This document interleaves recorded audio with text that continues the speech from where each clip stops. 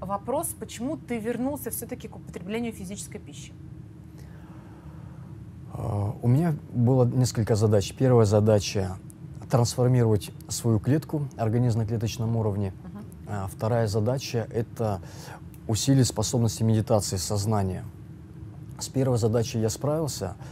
А, работая со второй задачей, сознанием, я встретился с то, что называют обратной стороны пустотности. Это когда у человека нет желания чего-то желать. Я начал уходить, отрываться от земли очень глубоко. А, но моя чувственная составляющая была к этому не готова.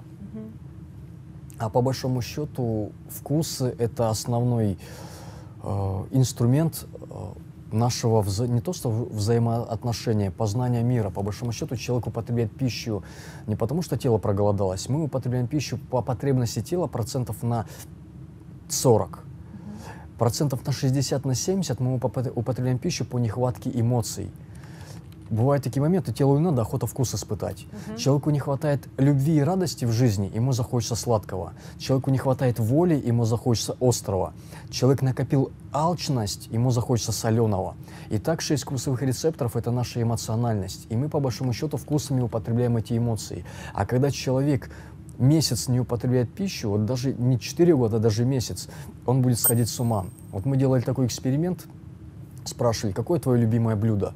Там, там называл человек любимое блюдо. Все, вот, вот неделю мы тебя кормим твоим любимым блюдом. Он через одну неделю начинает на потолок, ему просто это надоедает.